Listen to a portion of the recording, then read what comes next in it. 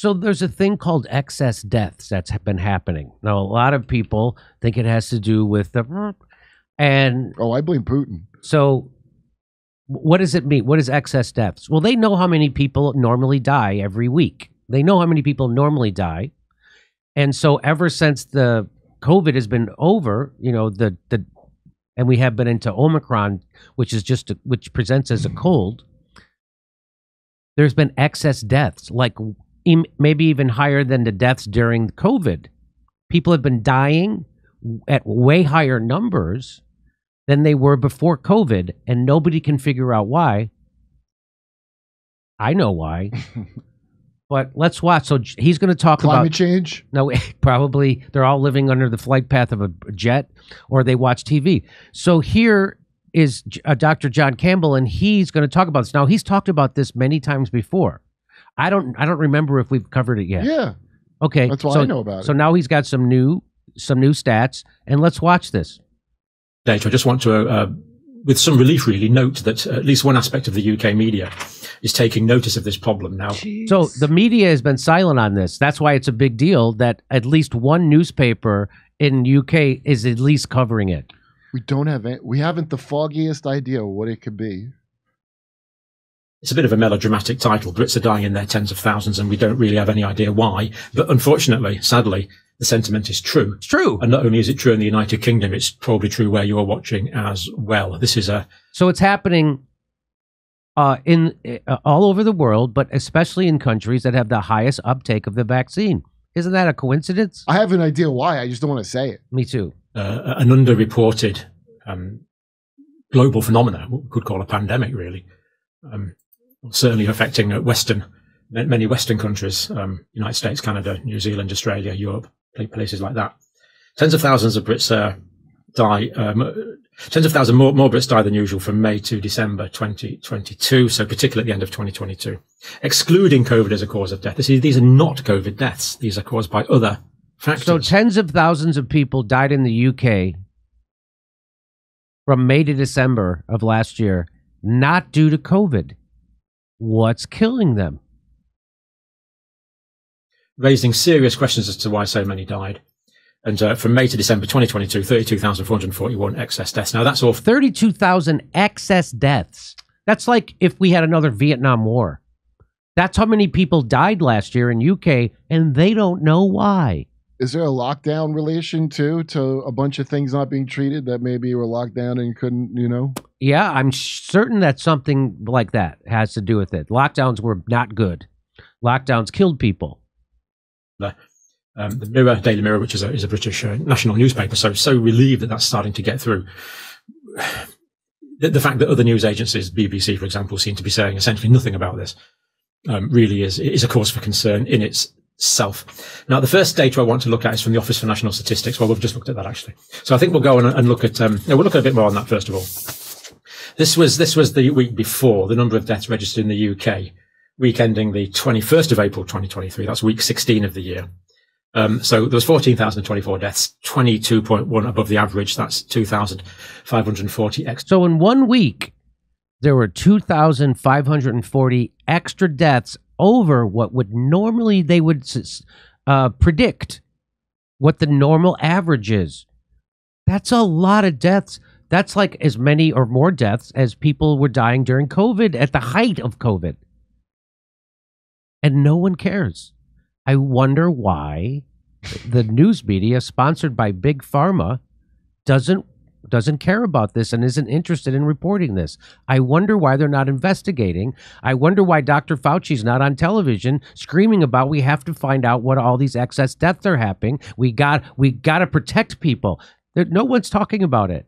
I just wish we had some leads. I wish we had some leads. deaths, huge amounts. Now, the latest data that we've got, number of deaths registered in the UK um, in the week ending the 28th of April. So this is the latest data that we have from the ONS because the death certificates take time to get through. So it's not unreasonable. Week 17, 13,690 uh, excess uh, w- w- de- deaths. So then the next week they had 1500 excess. Excess. So that's like a 9/11 those happening every week. Or roughly thereabouts. Together, sorry. But 12, It's like a what? That's a. It's like a half an. half it's a half a 9-11 that week is but but if you put those two weeks together that's a 9-11 Well, it's mysterious. We may never know. 0.9% above the average. So, okay, we've gone from 22.1% above the average, but we're still, I'm afraid, still well above the average. That's 1,569 excess deaths in the week. And that means in the UK in the past week, there's been 4,190 excess deaths. As we've said many times, just imagine this was a terrorist attack. 4,190 people were killed. It would be a state of war. But because people are dying in different settings, as we'll see in a minute, the, the government just don't seem to be commenting on it at all, with the notable exception of some MPs, but very little on this, tragically. Now, um, England and Wales specifically, so that that so and what are they dying from well they have data on that too what if they're not dying from covid what are they dying from and we see that here. So again, we see occasionally fewer people have died of cardiovascular disease than we would expect, but mostly they're in so this is the baseline for deaths from cardiovascular incidents all those numbers above it that's the excess deaths from heart attacks Oh my God! It is guard. They're gardening. So this is all ecstasy. They had so here there were less deaths. Now there's more deaths from heart problems than would be expected. East. So that's all cardiovascular disease. So there's an excess deaths through cardiovascular disease. The question is not so much the cardiovascular disease, it's what is causing the increase in the cardiovascular disease. That is the critical question that just doesn't seem to be getting asked. Why is cardiovascular disease? What? Why wonder why no one's asking what's causing all this excess cardiovascular deaths? I wonder. Yeah. I, I I really do. of course, we all know this is because big pharma funds the news. The news doesn't want to find out if there's a connection between these excess my, heart myocarditis deaths and something that big pharma is interested in. Yeah. They don't want to. They, they have no interest in finding that out, and that's and that's why he's like, why isn't anybody talking? How come I'm the only person? So you see in his eyes, it's the same thing feeling I have when I report on COVID. Is that why am I the only one saying this? Why aren't other comedians? I mean, I listened. I'm a real comedian for 30 years. I used to be so proud to say I was a comedian, and now I'm embarrassed because they're they're authoritarian pukes, and none of them they're leaving it all up to me. what was there another comedian out there who's telling the truth about COVID a- and any of any of it? Lockdowns, vaccines. Is there any other comedian out there, I Kurt? guess Jim Breuer did. Oh, Jim Breuer. Oh, you're right. There's a few people. Jim Breuer. Who else? Um, um, um, um, uh, That's it. So good for Jim Breuer. We should have him on the show. C- Ma- Malcolm, please let's try to get Jim Breuer on the show. So he's saying most of the deaths are a lot of deaths are coming from heart problems, and I wonder what could be causing that. expect, and we see that here. So again, we see occasionally fewer people have died of cardiovascular disease than we would expect, but mostly they're increased. So that's all cardiovascular. So what? And So now, so what else is doing it? Not just cardiovascular, but what else? More people dying of ischemic heart disease, heart disease generally, more people dying of heart failure, more people dying of liver disease, cancer about the same. Thankfully, not more people dying of cancer, but way less people dying of other respiratory diseases. You'd think there's something for epidemiologists to really get the teeth into there, wouldn't you? And yet, sadly, we hear very little. I'm going to leave it there because I've uh, expressed emotion on this before. There's no advantage to me doing that again. Urgent investigations required into what is causing these excess deaths. They're individuals. Thank you. Thank you for what? Okay, he's he seems very concerned.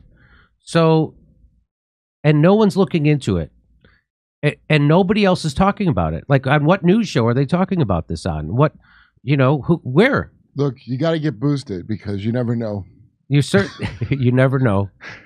You're certainly not going to hear this on. You're not going to hear this on shows that uh, have people who host it have MSNBC contracts. You're not going to see this on the Young Turks because they get their money from the establishment. You're not. Of course, uh, Breaking Point's been 100 percent wrong about COVID since it started. Nobody so they're not going to. into this. They're not going to look into this or tell you about it.